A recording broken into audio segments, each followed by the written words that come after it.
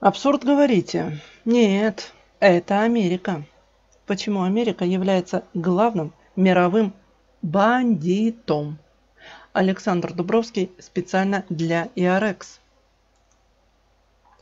Здравый смысл настойчиво подсказывает, любая уважающая себя страна обязана заботиться о своей национальной безопасности. Вопрос. О каких угрозах национальной безопасности может идти речь? Для начала дадим краткое общее определение понятия. Обеспечение национальной безопасности – это комплекс мер, направленных на защиту граждан, общества и государства от внешних и внутренних угроз. Нейтрализация угроз, о которых может идти речь, входит в функции государственных органов, обязанных обеспечить в том числе государственную безопасность, являющуюся составной частью безопасности национальной. Основной список угроз государству и нации в принципе известен и состоит как из традиционных, так и новых, появляющихся по мере развития, например, технологий. Не только технологии, в ту же копилку рост аномальных природно-климатические изменения, которые также вносят свои коррективы, хотя и с разной степенью жесткости, да и не во всех регионах. Не претендуя на полноту списка, попробуем обобщить означенный спектр угроз. Внешняя военная агрессия, направленная на разрушение территориальной целостности, терроризм, внутренний и международный, подрывная деятельность спецслужб других государств, в том числе промышленный шпионаж, технологическое отставание и опора на импорт технологий, что делает страну уязвимой от изменений политической конъюнктуры – киберугрозы, направленные на разрушение информационной инфраструктуры, внешние торговые и прочие экономические ограничения, санкции, запретительные пошлины, подрывающие экономическое благосостояние государства и граждан правовые коллизии, способные парализовать деятельность государственных органов, массовые антиправительственные выступления, дестабилизирующие государственный и общественный строй, скоординированные и информационные атаки внешних и внутренних оппозиционных СМИ, подрывающие доверие граждан к существующему государственному и общественному строю. Прочие угрозы вплоть до продовольственных, экологических, техногенных и так далее, в том числе физическая угроза жизни как соотечественникам, так и этнически близкому населению, проживающему на других территориях. Это про Крым, если что. Ситуация, с которой в мировой практике отнюдь не уникальна. В общем, примерно такой список входит в понятие безопасности любой страны, считающей себя хоть в какой-то мере суверенной. Однако различия не только могут быть, но они реально есть, так как меры по обеспечению безопасности зависят от наличия или отсутствия ресурсов и возможностей, которые также различаются иногда сильно.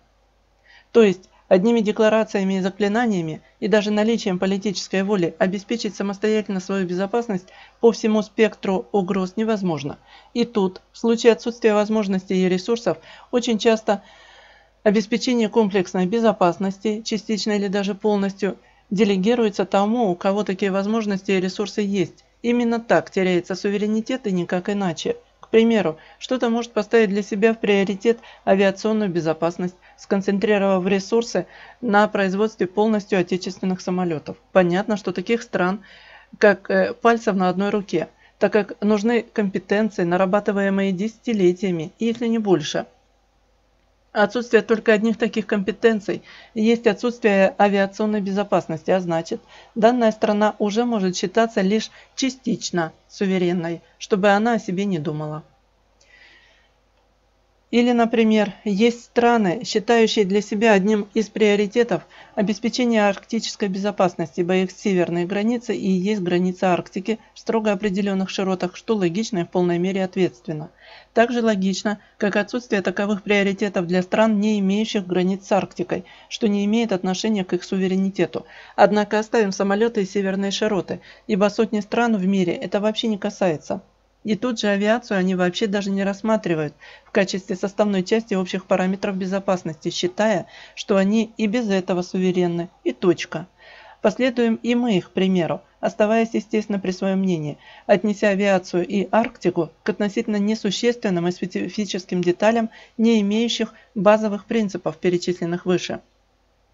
Так вот, у базовых принципов есть много общего от государства к государству, на то они и базовые – даже если они изложены стилистически и терминологически несколько по-разному. И если покопаться, то нигде практически не удастся найти принципов обеспечения безопасности, основанных на необходимости разрушения безопасности других государств, а также зависимости своей безопасности от внутреннего государственно-общественного устройства каких-либо прочих стран. Не найти ни в официальных документах высших органов, ни в речах высших официальных лиц, хотя и могут в больших количествах присутствовать в частных высказываниях отдельных политиков и даже в документах, в том числе прежде всего в открытой или закрытой аналитике различных ведомств. Нигде более, ибо абсурд. В сказанном также много нюансов, особенно в отношении непризнанных государств и прочих неурегулированных границ, а также в многочисленных случаях пересечения и наложения зон безопасности соседей и так далее. Все это предметы переговоров, пусть часто и длительных, но не более того. Переговоров – которых участвуют ответственные политики и дипломаты с целью предотвращения конфликтов и их локализации. В любом случае, односторонние действия недопустимы, в чем и проявляется ответственность перед своим государством и перед миром. А в случае невозможности договориться привлекаются авторитетные посредники, э, посредники либо, к примеру, вопросы выносятся на признанные площадки, вплоть до ООН. Таковы международные правила и традиции, выработанные столетиями и написанные кровью миллионов и подразумевающие цивилизованный подход даже к крайне сложным вопросам, где недопустим абсурдистский подход, свидетельствующий о крайней степени безответственности. Однако теория теорией, а на практике приходится констатировать, мир все больше погружается в хаос из-за несоблюдения общепризнанных норм и правил – Следовательно, есть те, кто соблюдает, старается соблюдать, и те, кто нарушает. Причем, как выясняется, нарушает систематически и принципиально. Думаю, что многим намек мой понятен. Под этим углом и рассмотрим, даже если как-то категори... кто-то категорически не согласен. Вот некоторые важные международные нормы, конвенции и организации, которые не признаны Соединенными Штатами Америки. Международная конвенция ООН по морскому праву 1982 года. Соглашение ООН о запрете ядерных испытаний 1996 года. Совет ООН по правам человека создан в 2006 году взамен одноименной комиссии ООН. Факультативный протокол по обязательному об обязательном разрешении споров к Венской конвенции о дипломатических отношениях 1961 года, Конвенция ООН о запрещении дискриминации женщин 1981 года, Конвенция ООН о правах детей 1989 года и так далее. Кроме того, есть масса международных норм, признанных США, но на деле ими не соблюдаемых, что часто приводит к необоснованным агрессивным военным вторжениям в суверенные страны с последующим превращением он их в нестабильное образование, напичканное оружием и бандами головорезов. Более того, когда я говорю, что нигде не найти официальной позиции, направленной на необходимость разрушения безопасности других государств в качестве меры обеспечения собственной национальной безопасности, то Америки это не касается в принципе. Именно США практически единственное в своем роде государство, которое открыто декларирует устами высших официальных лиц, что весь мир находится в зоне их и только их национальной безопасности, а также считает себя вправе распространять свою юрисдикцию на любую точку планеты. Началось все фактически с самого рождения этого специфического образования. А чтобы понять масштаб трагедии, надо знать очень простую вещь. На Америку никто никогда не нападал, все без исключения войны были для нее внешними. И за время своего существования, кроме всем известных крупных войн, она осуществляла и продолжает осуществлять внешнее вторжение регулярно, с частотой в среднем раз в полтора года, в чем можно легко убедиться здесь и здесь даются ссылки перехода. При этом, кроме войсковых и спецопераций по принуждению мира к обеспечению своей национальной безопасности, что уже сейчас ложится на сами США тяжелым затратным бременем и все чаще не дает желаемого результата. Все большее распространение получают откровенные и демонстративные попытки развала конкурирующих стран и блоков с сочетанием невоенных способов воздействия одновременно по двум направлениям – извне и изнутри. Цель проста и самое главное неиз, неизменна. Под предлогом обеспечения своей национальной безопасности устранить любых конкурентов. Причем, как все больше выясняется, во всех мыслимых и немыслимых областях. От сырьевых, прежде всего углеводороды, до высокотехнологичных отраслей, а также во всех гуманитарных сферах. Наука, информация, культура, религия и так далее. В заключение донесу простую мысль, не помещающуюся в головах апологетов добрых, гуманных и мирных Соединенных Штатов. Никого на этом североамериканском острове ни в малейшей степени не волнует государственно-общественный строй в какой-либо стране, вдруг пожелавшей конкурировать с США в той или иной сфере. Не волнуют ни фамилии руководителей, ни их убеждения, ни внутренняя политика, ни поддержка власти или отсутствие таковой со стороны населения – не волнует даже в какой-то мере данная страна или регион является союзником или противником, ситуативным или постоянным. Волнует только одно – где и в каких областях данная страна составляет либо готовится составить конкуренцию Америке. Все только в зависимости от этого обстоятельства выстраиваются последующие действия и комплекс мер воздействия, в том числе и превентивных, на устранение тех, кто каким-то образом вздумал тестировать национальную безопасность США, в область которой, напомню, входит вся планета. В этой связи следует уяснить еще одну простую вещь. Если в какой-либо стране, независимо от реальности, государственно-общественный строй объявляется несоответствующим универсальным демократическим ценностям, это означает, что страна уже вошла в конкуренцию и здесь рано или поздно произойдет прямое или косвенное внешнее вмешательство.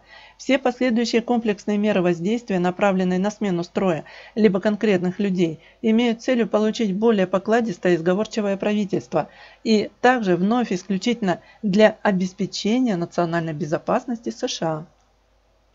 Страны, в отношении которых приходится вводить санкции, это те страны, которые конкурируют с США либо комплексно, либо частично, что с точки зрения Америки недопустимо ни в каком виде, ибо угрожают их национальной безопасности.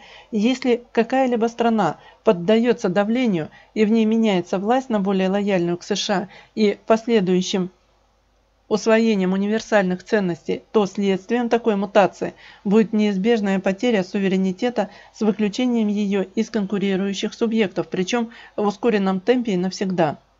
То есть, в случае прихода к власти, к примеру, либеральной оппозиции, полностью устраивающей Америку, то о суверенитете и национальной безопасности необходимо забыть. Вопрос, Почему и до каких пор мир может и будет терпеть подобное к себе отношение? Вопрос на самом деле риторический, который, однако, витает в воздухе уже давно, и ответ на него кроется во все более абсурдных действиях американской администрации как во внутренней, так и во внешней политике, когда инициаторы перестают заботиться даже об элементарном оформлении своих претензий.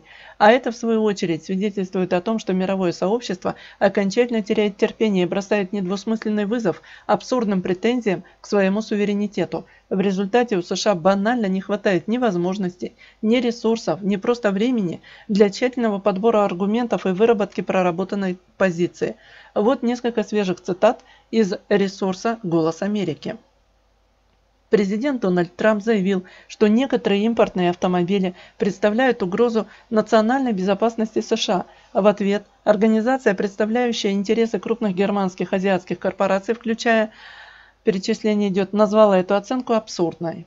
Соединенные Штаты подозревают Россию в нарушении моратория на проведение ядерных испытаний, заявил в среду глава разведывательного управления Министерства обороны США генерал-лейтенант Роберт Эшли. Соединенные Штаты полагают, что Россия, вероятно, не соблюдает мораторий на ядерные испытания.